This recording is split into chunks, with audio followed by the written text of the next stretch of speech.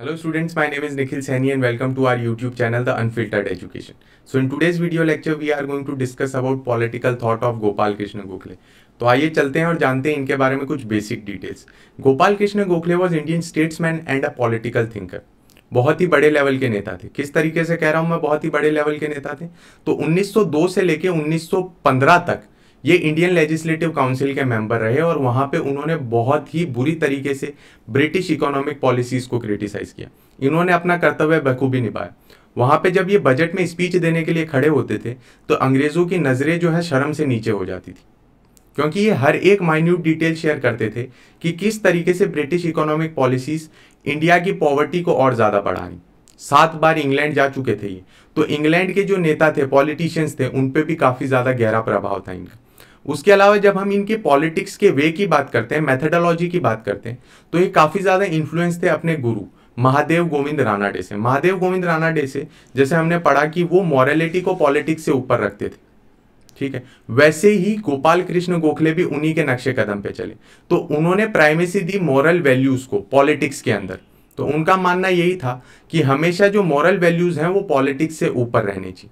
उनके करियर के स्टार्ट की बात करें हम तो उन्होंने अपने करियर स्टार्ट किया as a professor of economics and history from Fergusson college of Poona फिर उसके बाद उन्होंने 1902 में वहाँ से रिजाइन कर दिया और वो सेक्रेटरी बने इंडियन नेशनल कांग्रेस सेक्रेटरी के बाद 1905 के अंदर वो प्रेसिडेंट भी बने इंडियन नेशनल कांग्रेस वो नरम दल से आते थे और कॉन्स्टिट्यूशनल मेथड्स में बिलीव रखते थे।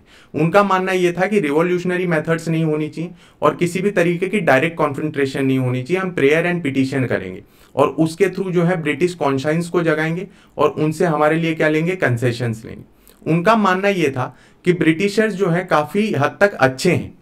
उन्हें आइडिया नहीं है कि हमारी प्रॉब्लम्स क्या और ज़्यादातर मॉडरेट्स का यही मानना था कि ब्रिटिशर्स को हमारी प्रॉब्लम के बारे में मालूम नहीं अगर मालूम चलेगा तो वो हमारी मदद करेंगे। तो इनकी जो वेस्टर्न फिलोसॉफीज थे, उनके अंदर काफ़ी ज़्यादा बिलीव था। तो अब आइए चलते हैं इनके कुछ डॉक्ट्रिन्स के बारे में पढ़ते हैं। His views on ends and means ends and means को हम ज़्यादातर एसोसिएट करते हैं महात्मा गांधी से। अब आपको यह भी जानना ज़रूरी है कि महात्मा गांधी किसके डिसाइपल थे? गोपाल कृष्ण गोखले। महात्मा गांधी गोपाल कृष्ण गोखले को अपना पॉलिटिकल गुरु मानते थे। तो इसीलिए उन्होंने ये जो है एंड्स एंड मीन्स की जो डॉक्ट्रिन है, वो यहीं से डिराइव करी। तो समझते हैं कि क्या है एंड्स एंड मीन्स तो इसके अंदर ये कहा गया है कि आपके एक्शन जो है, वो मोरल गोल्स के लिए होने चाहिए। आपके गोल्स काफ़ी ज़्यादा अच्छे होने चाहिए। बोले, बहुत सही बात है। सबको ऐसा ही करना चाहिए। बट उसके बाद एक और चीज़ का ध्यान रखना है, जो आप माध्यम चुन रहे हैं, जो मीन्स चुन रहे हैं अपने गोल्स तक पहुँचने के लिए। वो भी क्या होने चाहिए? नोबल होने चाहिए। It means noble goals and noble means दोनों आपके नोबल होने चाहिए, सही होने चाहिए। किसी ने उनसे खड़े होकर पूछा कि अगर हमने नोबल मीन्स लिए और हम नोबल गोल्स तक नहीं पहुँच पाए तो? तो बोले, कोई दिक्कत नहीं है। कभी भी कॉन्सिक्वेंसिस की टेंशन मत लो। कभी भी इस चीज़ की टेंशन मत लो कि आप अपने गोल तक पहुँचेंगे कि नहीं पहुँचेंगे। और उसके लिए कभी भी ऐसा ना करें कि आप गलत मीन्स को चुन लें। अगर हम नहीं भी पहुँचते हैं तो कोई दिक्कत नहीं है बट हमारे मीन्स हमेशा मोरल होने चाहिए। और इसी चीज़ को आगे जाके डेवलप किसने किया? महात्मा गांधी ने।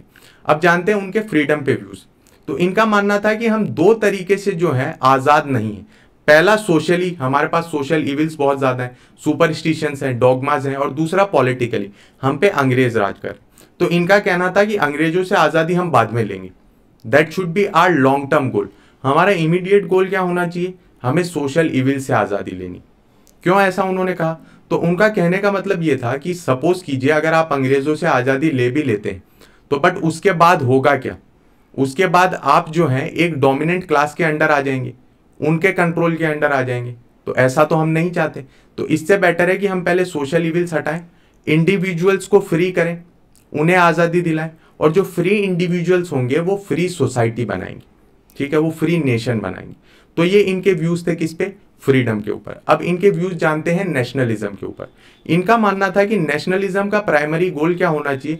Moral regeneration of India moral regeneration of India तो क्या करेंगे नेशनलिस्ट नेशनलिस्ट को काम करना है मासेस के लिए as well as for the upliftment of the downtrodden ये इनकी डेफिनेशन थी किसकी? नेशनलिज्म तो this was all about Gopal Krishna Gokhale I hope you like this video lecture thank you very much